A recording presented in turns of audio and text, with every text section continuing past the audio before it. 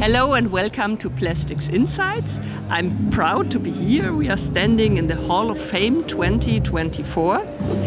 And one of the inductees from this year is Dr. Chris Rauwendaal. So, congratulations. Thank you very much. I appreciate it.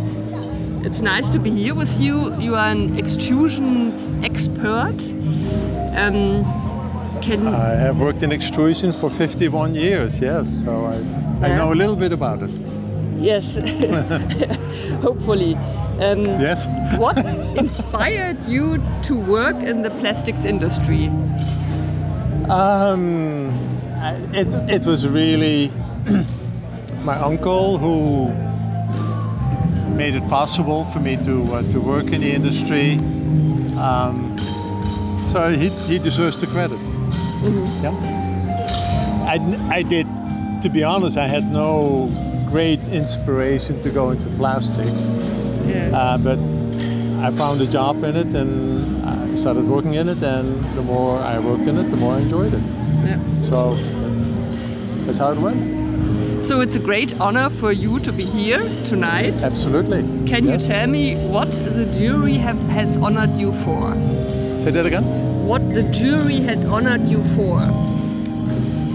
Uh, well, for pretty much the things I've done over the past mm-hmm. 50 plus years, which is uh, uh, a lot of teaching, a lot of publications, um, some inventions, some theoretical developments. Um, so many different activities. Yes. Yeah. There are over 300 publications appearing under your name. More, also than, more than that. Yeah. More than that. Also including books and yeah. uh, the, in the same publishing house where I work for. So that's what we have in common. yeah. Um, yeah. I, actually, the book came about through Hanser. Mm -hmm. I was yeah. contacted by Dr. Immergut. Yeah at Point Immergut, and he said, uh, Mr. Rauwendaal, would you be interested in writing a book on extrusion? And I said, well, uh, I might be, because I'd been mm-hmm. teaching extrusion seminars for quite some time, and the, the handout material was expanding and expanding. Mm-hmm. So that's that's how it got started. Yeah. yeah. So and it was a good project. Yeah. What does it mean to you to stay here tonight?